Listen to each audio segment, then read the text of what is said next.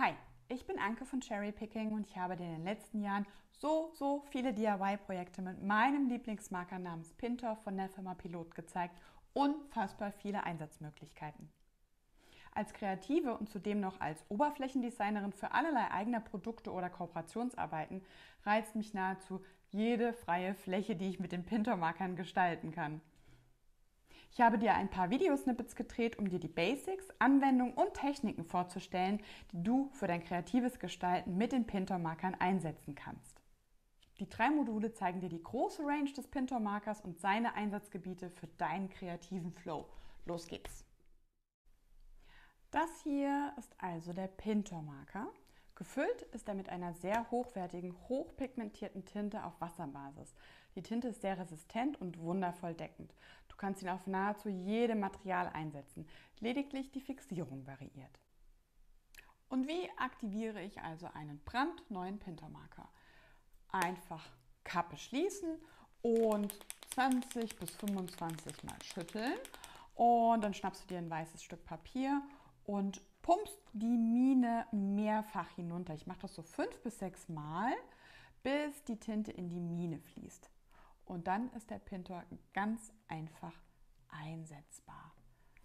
Hier seht ihr, wie die Tinte schön hinausfließt und in die Mine hinein.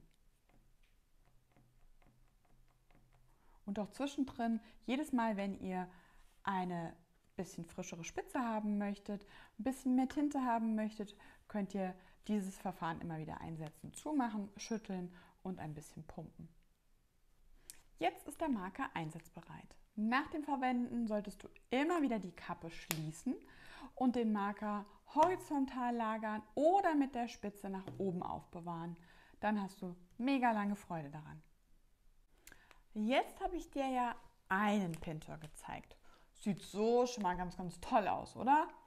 Hm, aber warte, bis du die komplette Farbfamilie siehst. Hammer, oder? 30 Farben. Grundfarben, Pastell, Metallic, Neon. Hier fehlt es wirklich an nichts. Und der Hammer ist, du kannst sie zudem noch mischen, blenden und sogar mit Wasser bearbeiten. Und, und das ist der absolute Bonus, jede Farbe gibt es in verschiedenen Strichstärken. Du siehst hier EF, die wirklich extra feine Spitze, mit der man ganz, ganz feine Linien machen kann, wirklich für Akzente, oder Lettering ganz, ganz toll geeignet. Dann die F, die feine Spitze, ist schon ein bisschen dominanter und dicker als die extra feine. Die mittlere, das ist so diese klassische Markerspitze. Und B, das ist wirklich für volle Flächen. Da haben wir wirklich eine breite, satte Strichstärke, aber man kann hier auch die schmalere Kante nehmen und dann hat man noch mal eine Variante. Du siehst, eigentlich ist kein Einsatz unmöglich.